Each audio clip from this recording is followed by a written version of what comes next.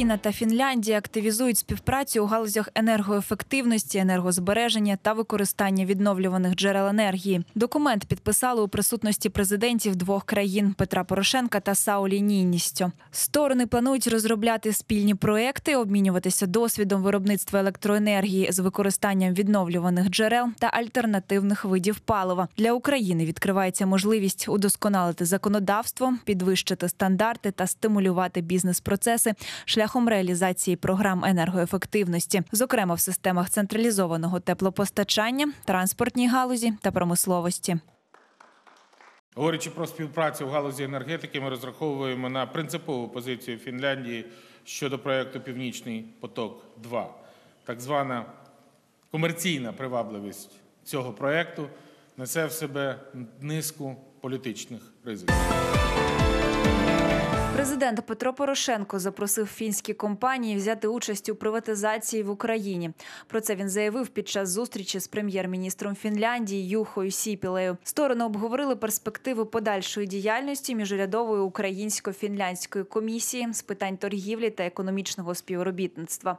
Глава держави подякував за вагомий внесок Фінляндії у прогрес українських реформ та в подолання наслідків російської агресії в Україні.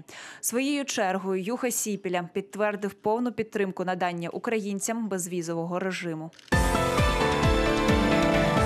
Вивести Україну в топ 30 країн за легкістю ведення бізнесу вже до 2020 року. Планують в міністерстві економічного розвитку. Наразі Україна посідає лише 80-ту сходинку. Завдання на наступний рік стрибнути на 50-те місце, у тому числі за рахунок розробки законопроекту, спрямованого на спрощення підприємницької діяльності. Нагадаємо, Doing Business Report – щорічне дослідження світового банку, що оцінює у 189 країнах простоту ведення бізнесу на основі 11 індикаторів.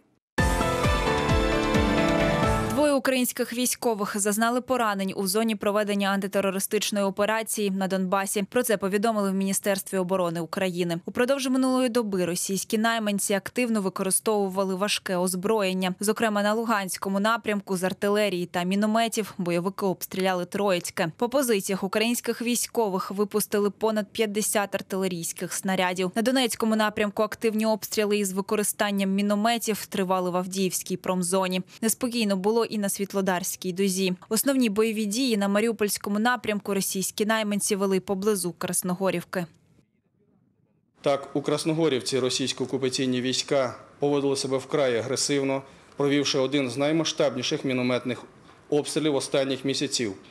На цій ділянці фронту за неповних три години бойовики зі сторони Старомихайлівки випустили по наших позиціях більше 80 мін різних калібрів. Минає два роки, відколи бойовики так званої ДНР обстріляли мирних жителів Маріуполя. 24 січня 2015 року проросійські найманці завдали удару з реактивних систем залпового вогню «Град» та ураган по мікрорайону Східний та прилеглому до нього селищу Виноградне. Унаслідок обстрілу загинула 31 людина, 117 зазнали поранень. Пошкоджені були 30 житлових будинків та інші об'єкти інфраструктури. Місія ОБСЄ встановила, що вогонь відкрили саме бойовики так званої ДНР за наказом офіцерів російської армії. У Маріуполі відбулася загальноміська хвилина мовчання за загиблими у теракті.